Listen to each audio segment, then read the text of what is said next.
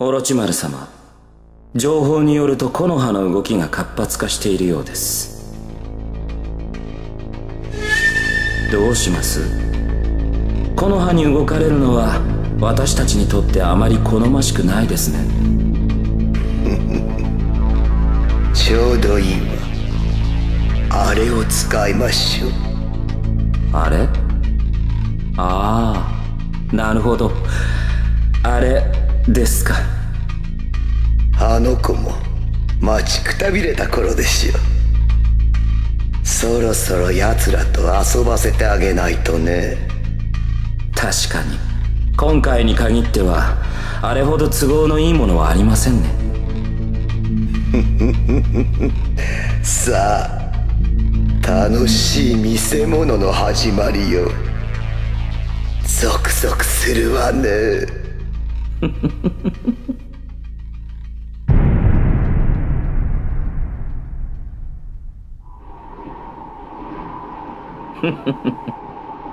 さあ目覚めの時だ。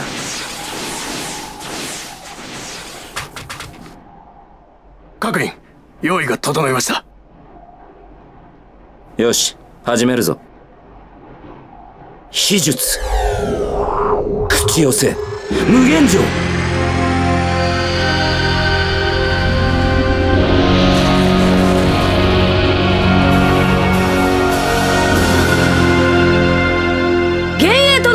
激突駆け抜けろ。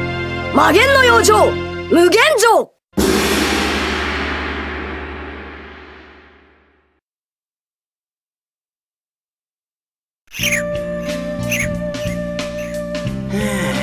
疲れたぜ。もうくたくた。んだよんだよ。さくらちゃんも鹿丸も。久々の任務。面白くなかったのか？任務に面白いもクソもあるかよ。まったく。あんたのその体力だけはほんと尊敬するわ。へへー。俺ってば毎日鍛えてっからな。体力にはすんげえ自信があるんだってばよ。さくらの皮肉もこのバカには通じねえな。はあ早く帰ってゆっくり休みたい俺ってば一楽のラーメンをたらふく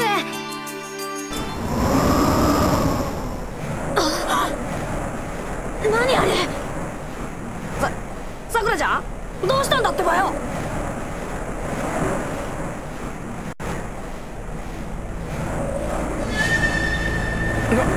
なんだあれ。さくらちゃん鹿丸とにかく急いで帰るぜ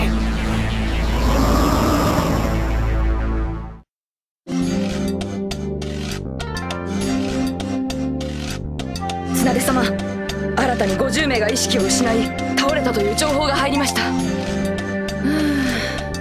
まずいねこれは。ん？バジャナルト？ーななんだってばよ。あのバカでかい城は。ああそうか。お前たちは任務で木の葉の外に出ていたから知らないのか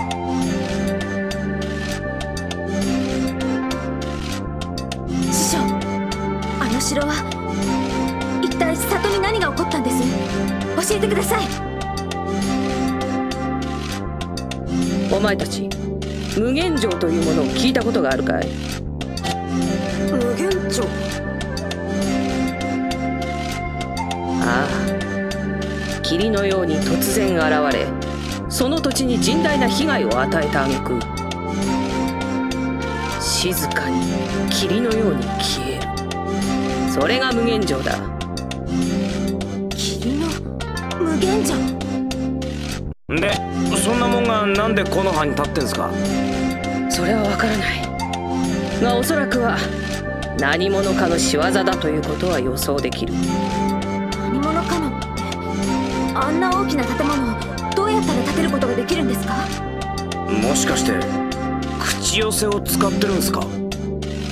さすがだなそう。鹿丸の言う通り。あの城は口寄せされた城だ。口寄せ？であんなに大きなものを口寄せするなんてどうやっても無理なんじゃ。無理じゃない。それってばただの札だよな。そう。確かにこれはただの札に過ぎないがこの札に口寄せの術式を書きそれらを8枚用いることで巨大な建造物を口寄せすることは理論上可能だ。8枚の札？それって発症封印のことですか？ああそうだ。それを用いればある程度のものなら封印し口寄せとして呼び出すことが可能だ。じゃあさじゃあさその8枚の札を全部剥がせばあの無限城ってやつを消すことができるんだな。まあ理論的にはそうだがだよ簡単じゃねえか。よっしゃその役目この渦巻きナルト様が引き受けたってばよ。まあそう焦るな。すでに先行部隊として常人たちを向かわせている。奴らが帰ってくるまで。そんなの待ってらんねえってばよ。俺が全部解決してやることはそんな簡単じゃないんだって。行っちまいやがったたくあのバカ。あの師匠ことはそんな簡単じゃないって。どういうことなんです？今まであの城が現れた里は全て壊滅したという噂だ。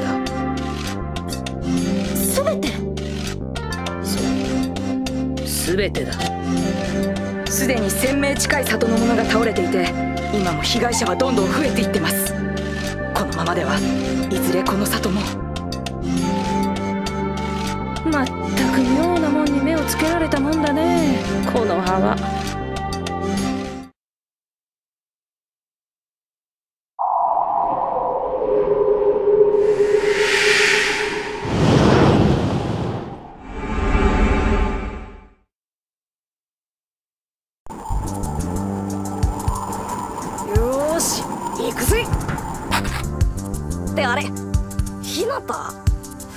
お前ってばこんなとこで何やってんだ？ナルト君この城ってば危険らしいぜ。お前は近寄んない方がいいんじゃねえの？あの赤丸が勝手に城の中に入っちゃってそれを追いかけてキバ君も城に入っちゃったの。それで私心配で。ええああのバカ一人でこん中に入っちまったのかよ！って俺が言えたことじゃねえけど。とにかく俺は中に入るぜ。そのついでに牙を見つけてきてやるよ。ひなたはそこで待ってろよあっ